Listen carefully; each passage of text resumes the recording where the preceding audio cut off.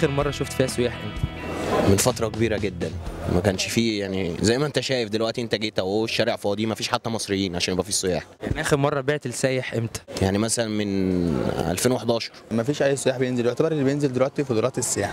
وبينزلوا يتفرجوا في الشوارع. كنا في السياحة بتشتري زي الأول والكلام ده. الجنسية اللي بتبقى موجودة اللي هي الصينيين بينزلوا برضو سياحة في الشارع وكده بس قليل قوي برضو. We see some tourists, yeah, here and there. Um, when and when? Uh, we went to the pyramids yesterday, and there were so quite a few tourists. And today we've been just wandering around the old town, Islamic Cairo, and the citadel. And we also saw some tourists there. Canadians should come to, the, to Egypt. It's a very nice, very nice place, and the people are great and friendly and awesome.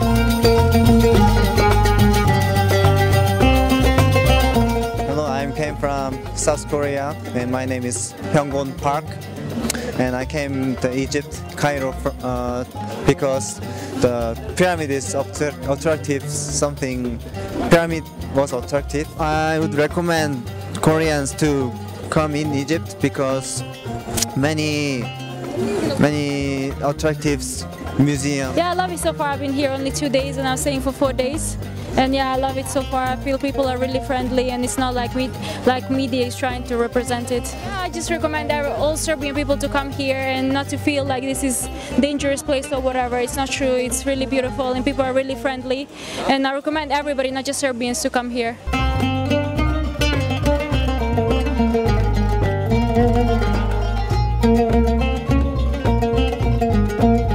Egypt is safe Tawan, very safe. I feel much safer here than in Switzerland. La la la, it's very safe.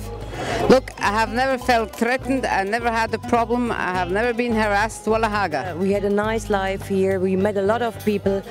And uh, now I'm telling to everybody, come back to Egypt because there's no danger at all. I can say to other tourists, please come to Egypt. It's very nice here. Egypt is safe. Uh, I think so. Um, in Germany, lives are not safe. One, two, three. Egypt is safe. thank you